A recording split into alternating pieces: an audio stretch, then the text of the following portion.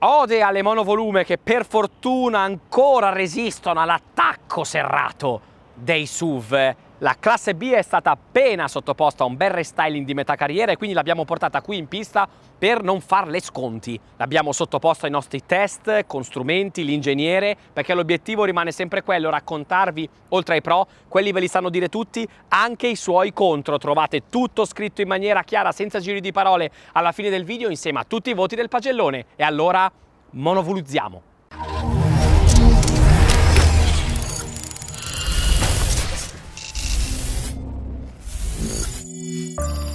Ammetto che sono particolarmente curioso di vedere fino a che punto è arrivata la classe B perché il mio caro babbo ha avuto ormai tanti anni fa la prima serie nel lontano 2006. Questa è la terza generazione restyling e infatti è cambiata tanto tanto tanto dall'auto che era allora, anche perché adesso è più tecnologica, più sfavillante, più Mercedes e ha anche motorizzazioni ibride plug-in proprio come quella che sto guidando io adesso. Sono anche contento di guidare la classe B perché è una mosca bianca, una delle poche monovolume rimaste sul mercato e secondo me è sempre un peccato perché una volta andavano davvero tanto di moda prima dell'avvento massiccio dei SUV, oggi sono andate quasi completamente perse, le concorrenti della B-Class si contano praticamente sulle dita di una mano, ma rimangono secondo me auto intelligentissime perché con quella configurazione lì da monovolume riescono a ottimizzare al massimo gli spazi interni in relazione agli ingombri, come poche altre auto riescono a fare. Mi mancano e comunque sì, lo dichiaro, mi piacciono. Lei condivide l'architettura, la piattaforma con tutte le piccole, le compatte della Stella, quelle che nascono principalmente a trazione anteriore, che comunque hanno il motore trasversale, quindi classe A, GLA, CLA e viene costruita per davvero eh, in Germania, nello storico stabilimento di Rastatt. Giusto un accenno ai prezzi, poi ci torniamo come sempre in maniera approfondita, critica e analitica nell'apposito capitolo in fondo al video. In ogni caso il restyling della B parte da poco più di 35.000 euro, ma le versioni più ricche superano i 45, come la nostra peraltro. Poco più di 4,40 m per questa classe B che si mantiene un'auto bella, secondo me, da vedere, elegante anche a distanza di qualche anno dal lancio. Il merito è del suo design, con grandi superfici levigate, non troppe linee di forza, nervature che la rendono sicuramente più gradevole da guardare rispetto ad alcune concorrenti più tese, inutilmente cattive. Vero BMW? Il restyling si è concentrato proprio al frontale dove sono stati ridisegnati i paraurti, la mascherina e i gruppi ottici. Bene, le ha fatto bene, è più fresca, più aggiornata, più futuristica davanti la classe B con i gruppi ottici che sono full LED, davvero bellissimi, con la firma Mercedes all'interno, volendo ci sono anche a matrice. Eh, bella la mascherina con tante piccole stelline, sono tra i pochi Mercedes che sono riusciti a trasformare un elemento plastico molto invadente in qualcosa di originale e gradevole da vedere, secondo me. Attenzione soltanto al portatarga che è a misura delle targhe europee, tedesche, non di quella italiana che è più corta, secondo me stona un po' su un'auto di questo livello. Prese d'aria, attenzione, eh, quelle verticali laterali sono vere, ma queste qua molto grandi di plastica nera sono finte, piene, forse una caduta di stile. Mi piace questo facelift perché pur non essendo invasivo è riuscito a dare una boccata di ossigeno a livello estetico a questa Mercedes. I gruppi ottici sono nuovi nelle geometrie interne delle luci eh, che sono davvero ben fatte, gustose e poi è tutto a LED, non c'è traccia di lampadine alogene e meno male. Anche qui troviamo grande eleganza, eh, forme morbide, classiche, però perché mi hanno messo questi terminali di scarico finti? Eh? Gordon Wagener, capo del design Mercedes, è tutto così apprezzabile e poi mi mettono lo scarico cromato per di più pieno in plastica, ma non si poteva fare un bel paraurti tranquillo, pulito, liscio? Il terminale di scarico vero è sotto. L'analisi qualitativa del nostro ingegnere cosa ha portato a galla? Beh, che in generale la costruzione all'esterno è davvero ben fatta, rigorosa, le luci, le linee di fuga tra i pannelli di carrozzeria sono costanti e non troppo distanti. Davvero ben fatto, un'auto alla tedesca, però attenzione, non mancano comunque delle sviste eh, che ci hanno fatto un po' alzare il sopracciglio, come per esempio qui nella zona del faro che non è perfettamente raccordato, peraltro da entrambi i lati. Eh, diciamo che in generale le Mercedes di alta gamma, con architettura diciamo diversa, quindi longitudinale, eh, sono più curate. E poi questa presa d'aria finta qua è davvero imperdonabile. E la prova portiera cosa ci racconta a livello di padiglione auricolare? Beh, che i Mercedes amano curare questo dettaglio da sempre. Qui siamo su un modello comunque di accesso alla gamma, eppure il suono è bello felpato, ovattato. Vediamo le guarnizioni, cosa ci raccontano? Beh, quella principale è su più livelli, davvero ben fatta, spessa, applicata in maniera incommiabile. Poi qui sull'intero giro eh, dello sportello battente ne troviamo un'altra, anche questa davvero cicciotta, spiegato il motivo di un risultato così appagante, ce n'è, guardate peraltro un'altra qui come sui modelli di alta gamma che aiuta a filtrare ancora di più i frusci aerodinamici. Qualità all'interno, cosa abbiamo trovato? Allora, sicuramente materiali di grande fattura, tutta la parte alta della plancia in materiale soft touch e poi guardate queste finiture qui satinate, spazzolate, sono meravigliose, davvero appaganti. Le stesse li troviamo sul pannello porta che è davvero ben realizzato, parte alta, tutta soft e poi microfibra eh, sul pannellino, davvero ben fatto. Attenzione soltanto alla parte inferiore che effettivamente ha della plastica rigida ma con una goffratura dai piuttosto curata e poi il fondo eh, della tasca ha un bel tappetino in gomma. Qui sì che sentiamo proprio no? eh, il profumo di Mercedes. Attenzione però come sempre al piano black, un materiale che proprio non ci va giù nei pro e contro. Si manifesta subito lo sporco, la polvere come in questo caso, si vedono tantissimo le ditate, poi è molto cagionevole, basta un niente per rigarlo. Qui ce n'è un po' troppo nella zona eh, delle bocchette di ventilazione e anche del tunnel. Per fortuna qui un pochino limitato da questa finitura color eh, alluminio. Le bocchette di ventilazione un bel capolavoro a livello di design. Attenzione che quando le andiamo a movimentare manifestano qualche scricchiolio di troppo, l'avevo già detto anche su altri modelli compatti eh, della Stella. E poi abbiamo i comandi. Lo sterzo è meraviglioso da impugnare, rivestito con una pelle traforata davvero di grande fattura, giusto dimensionamento, bellissimo il design del nuovo volante delle nuove Mercedes, mi piace un sacco. Paddle piccolini, solidali, eh, alle due razze. Eh, attenzione però ai comandi qui a sfioramento. Organizzati molto bene, a destra si comanda il sistema multimediale, a sinistra la strumentazione, però sono spesso comandi a sfioramento. C'è il click, ma per passare da un menu all'altro bisogna sfiorare, si fa un po' fatica, soprattutto mentre si guida. Necessitano di un tempo di apprendimento piuttosto lungo all'inizio e spesso si rischia di sbagliare, di premere qualcosa che in realtà non volevamo selezionare, secondo me da rivedere. Abbiamo poi quelli qui a bilanciere del sistema eh, di climatizzazione. Bene, perché ci sono, sono fisici e in un attimo si vanno a cambiare le impostazioni del clima, non è tutto touch per fortuna. Molto bene i bilancieri qui laterali eh, della temperatura trasmettono una bella idea di qualità, meno però questi a pianoforte eh, qui in mezzo che sono un po' cedevoli, eh, ci parlano un po' troppo della loro anima plastica secondo me e non sono bellissimi da azionare, l'ho detto anche con la classe A. E poi abbiamo i sedili, davvero bellissimi quelli del nostro esemplare, è misto microfibra e pelle con impuntura a vista rosse e anche piuttosto comodi, non sono inutilmente esasperati, siamo su un'auto pacifica, quindi non troppo sagomati, soprattutto la seduta che è quasi piatta e questo sicuramente aiuta anche nei viaggi di lunga percorrenza. Bella la pedaliera in alluminio gommata, posizione di guida, ho regolazioni elettriche sul mio esemplare, eh, non devo assumere per forza una posizione troppo turistica tecnica, siamo su una monovolume, ma volendo riesco un pochino almeno a distendere le gambe, oppure a guidare in posizione rialzata se mi piace di più. La posizione di guida è più rialzata rispetto alla classe A da cui deriva, di ben 10 cm. Volendo quindi si può stare bello in alto, anche oltre i 60 cm.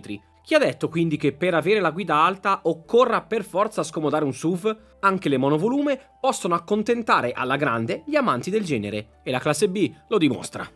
Per sapere se un'auto spaziosa l'abbiamo rimisurata da capo, non andiamo a sentimento. Ecco cosa abbiamo scoperto in relazione ad un po' di concorrenti che ci aiutano a farci un'idea. A parità di lunghezza la classe B offre un pochino più di agio in altezza e per le gambe di chi siede dietro, mentre lo spazio in larghezza è pressoché lo stesso. Da una monovolume era lecito aspettarsi qualcosina di più incisivo. Lo dimostra il fatto che i numeri rilevati sono molto simili a quelli della DS4, che non è propriamente una monovolume. Il divanetto posteriore scorrevole è un optional e, francamente, ce lo saremmo aspettati di serie su un'auto che dovrebbe fare della versatilità la sua ragion d'essere. Ma che, numeri alla mano, assomiglia troppo a una classica berlina, come dimostra il terzo posto centrale sacrificato. Insomma, i tempi delle monovolume, con i tre sedili separati dietro, sembrano un ricordo del passato, almeno per questa Merc.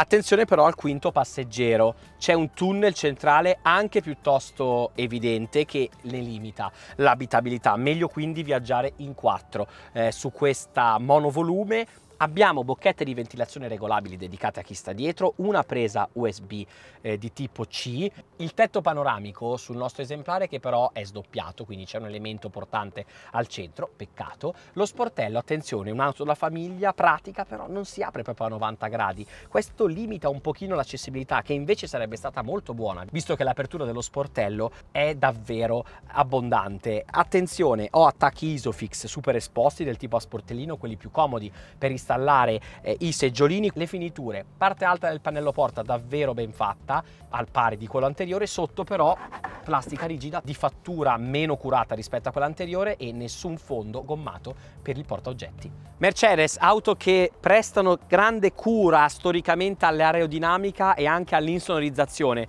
Vediamo questa classe B come si è comportata nel nostro test infallibile. L'insonorizzazione è in generale buona ma non strepitosa, in particolare non è difficile avvertire il rumore, peraltro non particolarmente gradevole, del turbo benzina dell'alleanza quando entra in scena. Si alternano quindi momenti di grande quiete, quando si viaggia in elettrico, a periodi in cui la presenza del 4 cilindri è ben avvertibile. Per darvi un parametro, basterà dire che la classe A con l'ottimo 2000 diesel Mercedes è risultata nettamente più silenziosa e che i valori della Jogger, non una campionessa in termini di silenziosità, non sono poi così lontani. Colpisce la DS4, anche lei provata con un diesel ma capace di regalare un abitacolo decisamente più silenzioso rispetto a quello della B.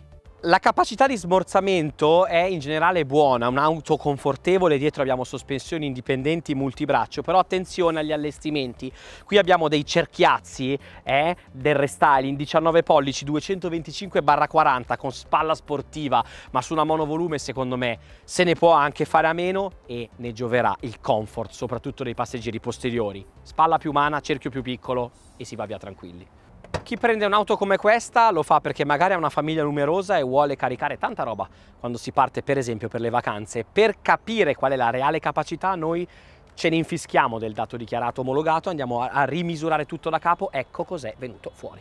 I litri reali rilevati dall'ingegnere sono poco più di 300, molti meno dei 450 dichiarati e solo 45 in più rispetto a quelli della classe A plug-in che monta lo stesso powertrain ibrido ricaricabile. Dalla sorella monovolume c'era da aspettarsi qualcosina di più in termini di versatilità. Certo, chi vuole avere un baule più capiente potrebbe comunque rinunciare alla variante 250e optando per le più classiche versioni benzina e diesel mild, che riescono a regalare qualche litro in più. La soglia è piuttosto bassa, più bassa rispetto a un SUV, quindi è più facile caricare e scaricare soprattutto le cose pesanti. Attenzione però a questa soglia che in plastica rigida col tempo rischierà di rovinarsi, di graffiarsi e poi l'aggancio della serratura non è celato da alcun tipo di scontrino, un dettaglio che hanno auto meno blasonate, per fortuna sì, la serratura lei è nascosta, eh, le finiture dentro comunque sono in generale molto buone, moquette peraltro morbida sia sui fianchetti eh, sia sul fondo, un abitacolo piuttosto squadrato che quindi facilita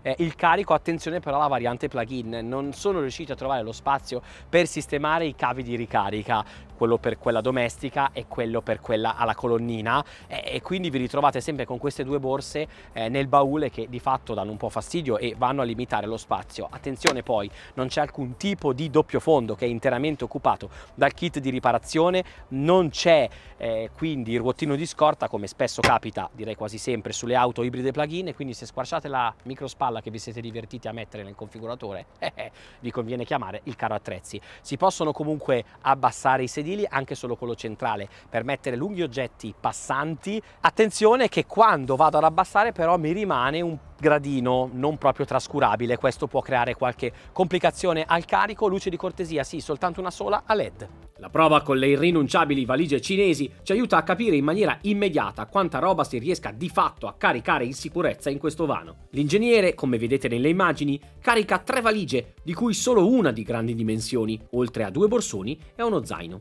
Insomma, viaggiando in quattro, più o meno tutti potranno portarsi dietro un bagaglio a patto di non esagerare troppo. Ma la sensazione è che anche in questo caso, da una monovolume si poteva pretendere un pochino più di spazio. proprio come sulla classe A restyling qui abbiamo la possibilità di avere due display appaiati in puro stile Mercedes con una risoluzione altissima, una luminosità molto alta, animazioni che non laggano tra i migliori secondo me eh, del mercato o comunque eh, della categoria. Eh, sulle versioni base attenzione che abbiamo la strumentazione da 7 e il display centrale da 10,25 su quelle top di gamma come nel mio caso entrambi i display sono da 10.25 pollici. Una scelta consigliatissima. Abbiamo il sistema multimediale MBUX che abbiamo imparato a conoscere e apprezzare negli ultimi anni che qui è stato ulteriormente evoluto e affinato. Per esempio dal punto di vista dei comandi vocali che ora sono stati affinati ancora di più e rispondono a comandi a frasi ancora più naturali che fanno parte del nostro linguaggio comune, funziona davvero bene, provare per credere, ci sono Apple CarPlay, Android Auto, funzionano anche in modalità wireless, ma il sistema, lo dico sempre sulle Mercedes, funziona talmente bene che non è obbligatorio rimanere confinati dentro il sistema di iOS o di Android, si lascia apprezzare anche quello residente della Mercedes.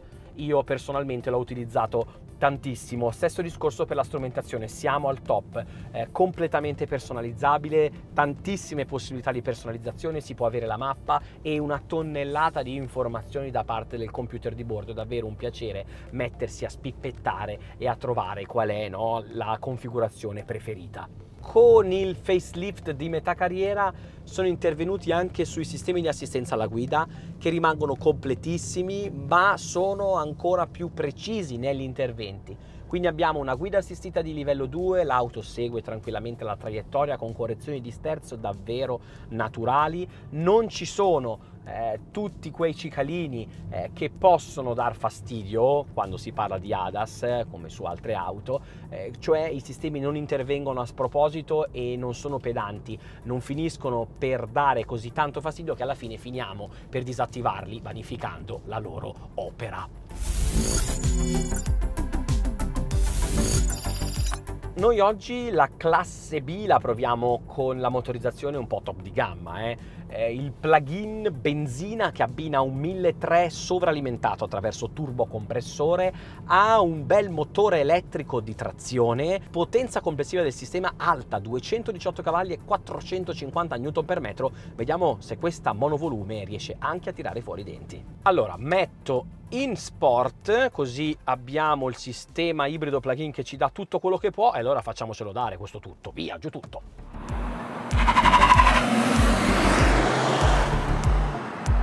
Un minimo di esitazione e poi però mi tira le marce fino a 6.000 giri.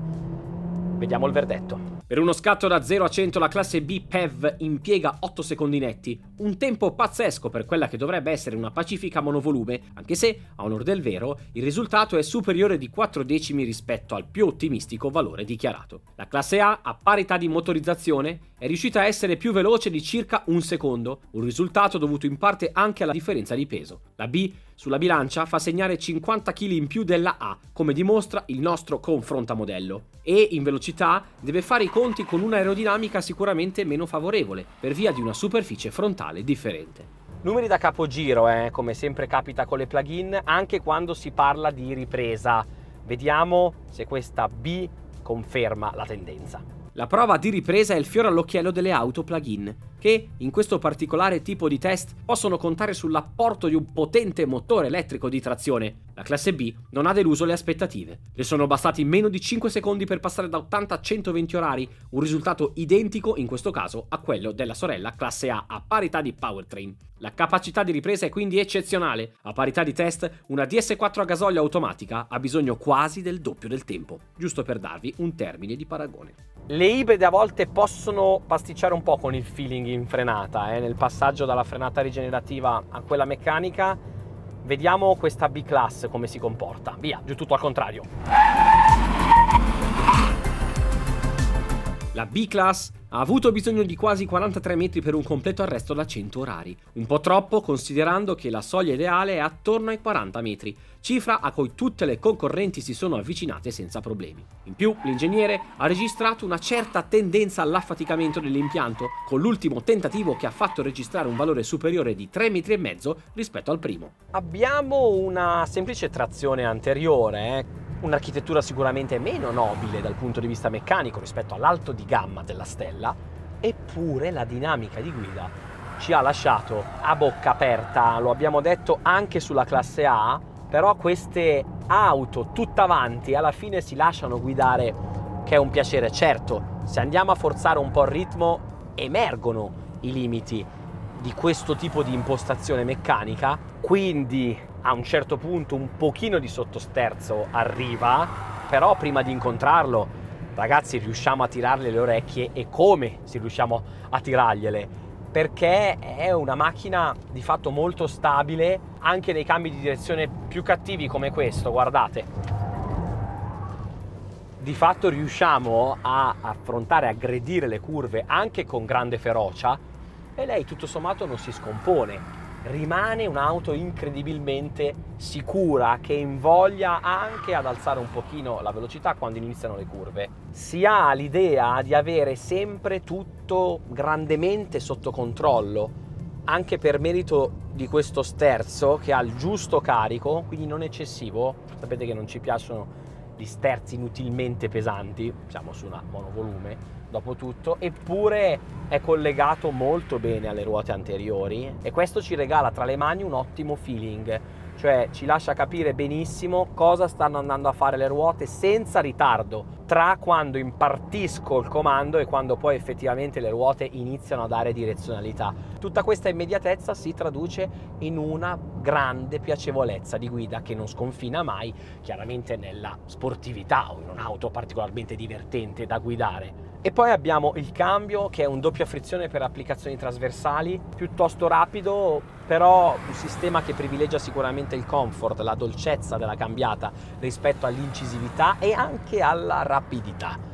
Abbiamo visto dai numeri, la versione plug-in ha più di una cosa da dire dal punto di vista prestazionale. Attenzione solo al 1300 benzina che avevo già guidato tempo fa e confermo le sensazioni. Un motore vispo, piuttosto frizzante dal punto di vista delle prestazioni, non mi convince mai dal punto di vista della pastosità e della ruvidità che secondo me manifesta in maniera un po' troppo evidente, soprattutto quando andiamo a chiedergli tanto, sopra i 4000 giri.